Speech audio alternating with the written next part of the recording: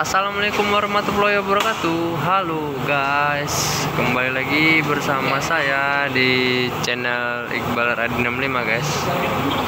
Hari ini hari Sabtu. Hari Sabtu ayo anak muda yang mau bepergian malam mingguan Jangan lupa untuk apa ya Untuk rawat sepeda motormu Biar nanti di waktu jalan-jalan sama pasanganmu nggak mogok dan jangan lupa dibersihkan biar kinclong ya kan?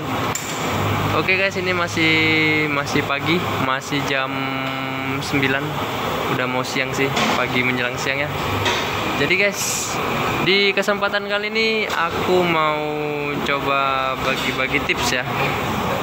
Caranya menjaga performa motor injeksi kalian supaya tetap enak tarikannya jadi dengan melakukan nanti ada ada saya bagi tipsnya dengan melakukan itu tarikan motor bisa lebih enteng lebih stabil waktu dikendarai. Nah jadi mau tahu apa yang mau dilakukan ayo saksikan video ini sampai selesai guys.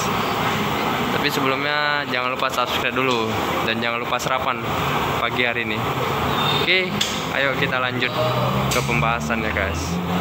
Oke guys. Jadi di hadapan saya ini ada motor Honda Scoopy injeksi yang udah pakai ring lingkar pelak 12 jadi uh, saya sarankan supaya motor kalian yang injeksi tetap enak.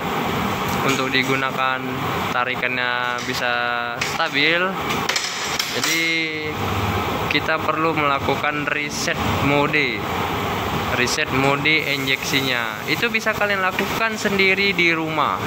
Tapi sebelum saya lanjut ke cara meresetnya ada beberapa hal yang harus diperhatikan sebelum melakukan reset itu ya guys. Oke guys ini mau saya praktekkan di motor Scoopy ini. Sebentar nih lagi dibukain joknya Alhamdulillah nih bengkel kita hari Sabtu ini pagi ini lumayan rame. Ya mudah-mudahan sampai siang sore nanti tetap uh, tetap rame ya. Oke ini kita buka dulu joknya. Oke guys. Jadi ini kita mau mencoba meriset ya guys. Ini meriset ini dengan tujuannya setelah di reset itu bisa menambah performa mesin kita agar tetap stabil. Tarikannya tetap enak inte apa enteng ringan gitu kan. Uh, selain itu jika sebelumnya motornya ada terasa tersendat-sendat atau kosong gasnya dan biasanya setelah kita lakukan reset reset mode injeksi ini itu bisa mengatasi tersendat-sendatnya tadi dan gas kosongnya tadi tuh. Jadi kalau uh, motor kawan-kawan atau teman-teman sekalian ada terasa seperti itu coba dulu lakukan riset seperti ini. Ini bisa kalian lakukan sendiri di rumah ya. Bisa kalian buat sendiri kita bisa dicoba sendiri. Bisa guys. Perhatikan tekanan pompa injeksinya guys karena dia syarat untuk bisa melakukan reset minimal standar si tekanan pompanya harus di atas 250 kPa kalau kalian punya untuk ini namanya alat ukur pompa kalian bisa ngeceknya melalui menggunakan ini alat ukur tekanan pompa atau namanya pressure gauge ini udah agak buram nggak nampak kaca ini kalau standarnya dia 294 dia di sini 294 nah, itu itu bisa dilakukan reset itu layak dilakukan reset tapi kalau di bawah 250 kPa jangan lakukan reset karena bisa beresiko pompa injeksinya bisa jebol atau tidak mau langsam nanti.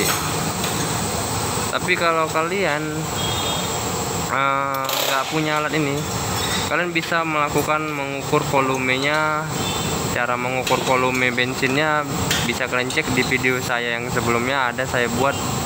Waktu itu saya mengukur volume Honda Vario. Jadi kalian bisa ngecek di situ. Atau kalau kalian uh, mau lebih aman safety kalian bisa buka ini. Soketnya dicopot. Soketnya dilepas saat melakukan reset digunakan kalau standarnya sih pakai ini. Ini namanya DLC konektor atau bisa dibilang dikatakan dengan jumper line tapi kalau kalian tidak punya ini DLC konektor kalian bisa menggunakan kabel atau kawat yang bisa mengantarkan atau menghubungkan arus listrik ya kalau kalian menggunakan ini tinggal colokan aja. Tinggal colok kan tapi kalau kalian tidak punya ini kalian bisa menggunakan kabel. Kalian jumper. Ini kan di sini ada posisi uh, tonjolannya di atas. Tonjolan di atas yang di bawah kan nggak ada tonjolan. Jadi posisi yang ada ke atas tonjolannya seperti ini. Kabel yang di jumper kabel warna hijau. Hijau dan coklat atas bawah. Ini hijau dan coklatnya atas bawah ya. Jadi tinggal kalian masukkan kemari satu dan satu kemari. Seperti ini. Di jumper. Kemudian cara melakukan resetnya ini pertama uh, jumpernya ini. Itu posisi kunci kontak masih off nah, kemudian setelah dipasang jumpernya ini tarik grip gas sampai kandas. Ini kan tarik grip gas ini sampai kandas. Nah. kemudian putar kunci kontak ke on. Ini udah ke on kunci kontak. Lihat lampu di speedometer lampu milnya. Jika sudah berkedip seperti ini lepas grip gasnya. Tunggu sebentar sampai muncul satu kedipan agak lama durasinya tunggu lagi. Oke itu menandakan berhasil. Itu menandakan udah di reset mode satu. Di off kan kunci kontaknya. Kemudian dicabut jumpernya tadi. Oke, seperti itu cara meresetnya. Kalian bisa melakukan sendiri di rumah dan uh, jika kalian memiliki motor injeksi yang tarikan agak berat atau yang agak terasa gas kosong, nyendat-nyendat, coba lakukan reset ini karena ini bisa mengatasi hal seperti itu.